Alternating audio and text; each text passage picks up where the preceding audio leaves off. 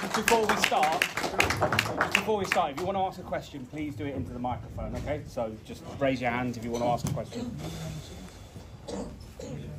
Thanks, Sean.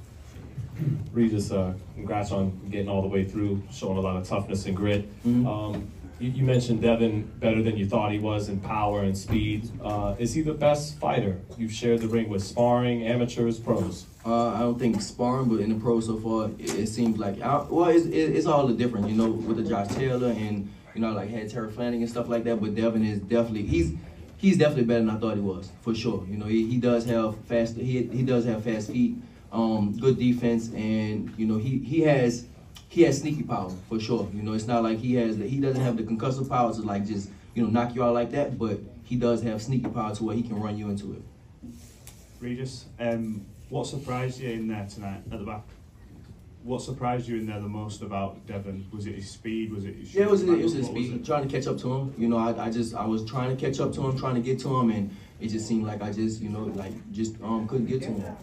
You've achieved a lot in the sport. Obviously, you've you know been world champion before. Is that the goal for you to sort of get back on the horse and to try and you know Three time champion. in the belt for Yeah, three, three time champion. Yeah, three time champion. Um, something I did have in mind. maybe maybe it might be too soon right now, but um, I do want to leave the sport and do MMA. I want to do that. Um, but I do want to be a three time champion before I do that. Three time at 140. Then after that, I do want to go ahead and switch to MMA. But three time champion first. Regis, were you uh, surprised that he uh, was so dominating and why all of a sudden MMA?